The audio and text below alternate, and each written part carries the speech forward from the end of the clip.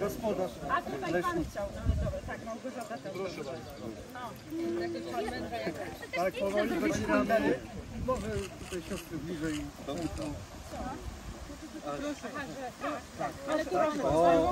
Pomieszajcie się, no właśnie. Uwaga. I po, podjeżdżamy coraz bliżej. Uwaga, blisko. Jeden, dwa, trzy i już. Tak, tak, tak.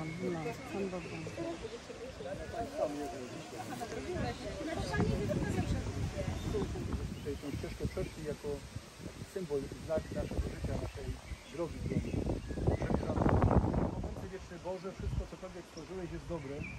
Nie ma niczego, co byłoby zło samo w się, naszą modlitwą. Chwalimy Cię i uwielbiamy. Dzięki Ci składamy, bo wielka jest Twoja wierze, a od Ciebie dostawali pomocy opieki. O to prosimy przez Chrystusa, Pana naszego. Amen.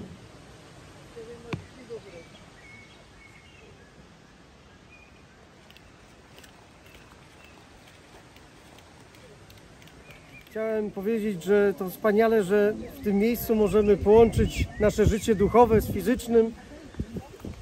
Ta ścieżka ma służyć i temu, żeby przyjść tutaj, pomyśleć o siostrze Marii Dulcissimie, o swoim życiu duchowym, o tym, co mówił dzisiaj ksiądz biskup na kazaniu, ale również po to, żebyśmy mogli zobaczyć, jaka piękna jest przyroda, może dzięki temu docenicie Państwo i ci, którzy tu będą przychodzić, pracę leśników, którzy przez pokolenia pilnują lasów, żeby były ciągle zielone, żeby można było przychodzić y, do lasu pełnego ptaków, zwierząt, gdzie naprawdę w sposób y, doskonały można się y, połączyć ze, ze, ze swoją sferą duchową.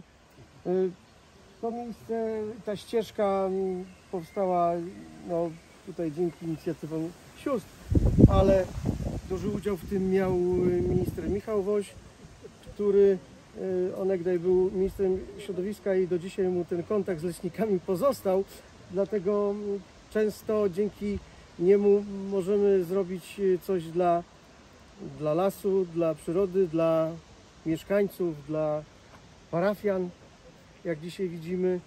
Także bardzo się cieszę, że możemy dzisiaj tutaj po raz pierwszy oficjalnie przejść się tą ścieżką i zażyć y, życia i duchowego, i tego fizycznego kontaktu z przyrodą. Jak to kopalnia. Jak to kopalnia miała, to, było super. Jak miał.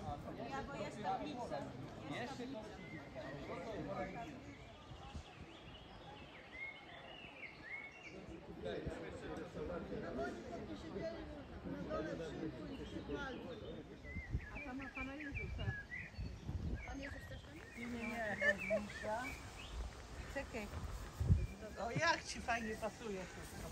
Jest, aby Pan Jezus.